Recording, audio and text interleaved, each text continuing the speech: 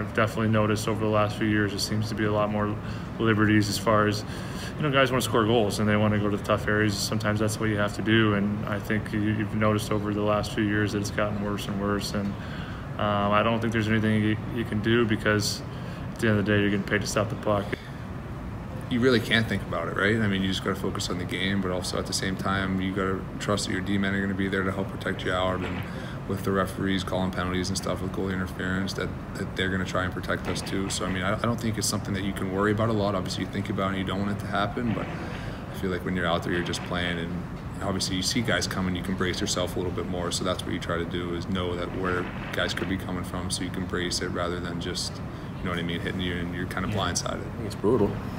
I mean, well, what can you do? That game's so fast nowadays, and space is limited. So, you know, the guy's driving wide, and he's half a step late.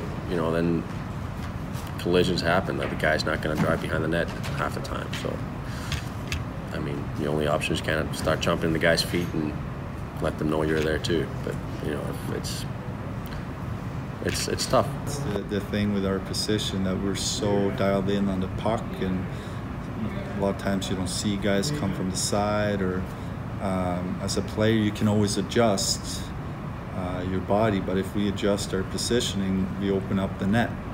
So uh, you just have to stand there. You just have to uh, uh you know I think a lot of situations hope for the best when, when people come uh, running into